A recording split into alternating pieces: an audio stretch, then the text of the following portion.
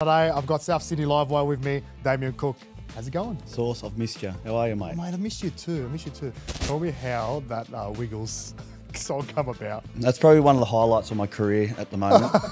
Recent news, obviously, Peter re-signed for a further three years. Um, he's doubled as your successor. Does that put a bit of pressure on yourself, or does that motivate you to kind of retain that jersey? um, What was your relationship with like uh, with Des?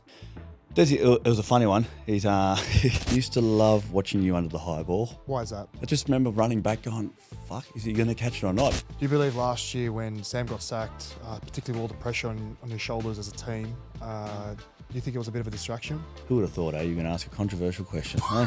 Who would have thought? Yeah. Can you not stare in my eyes while you just lick that envelope like that?